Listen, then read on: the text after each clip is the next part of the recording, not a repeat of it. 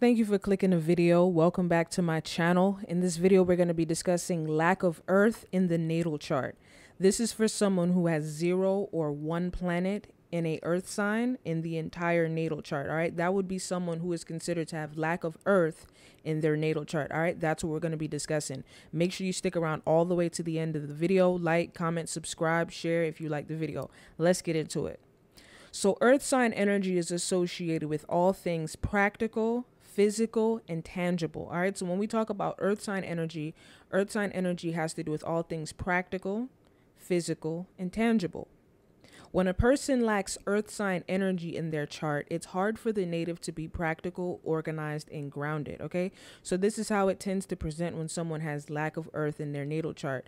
Is it's it tends to be hard for the native to be practical, organized, and grounded. You know, to feel like they have it together. You know, they're on top of all of their affairs.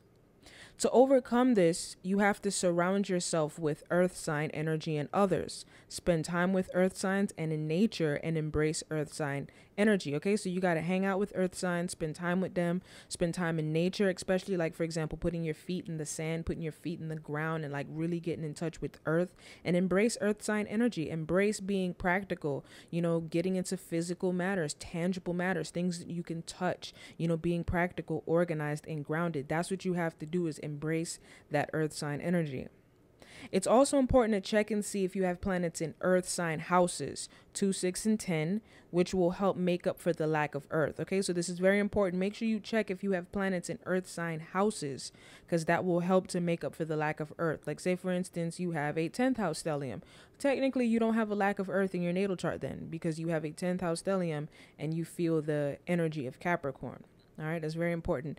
This placement doesn't indicate that you won't ever have material and financial success at all or finally get it together. That's the thing. This placement is not an indictment. It doesn't mean that you won't ever have material and financial success or feel grounded or get it together. It just may take more effort to have material and financial success and be grounded, right? So it just may take a little bit more effort having lack of earth in a natal chart. Thank you for watching. Like, share, subscribe, comment down below. Let me know what you think. Take care.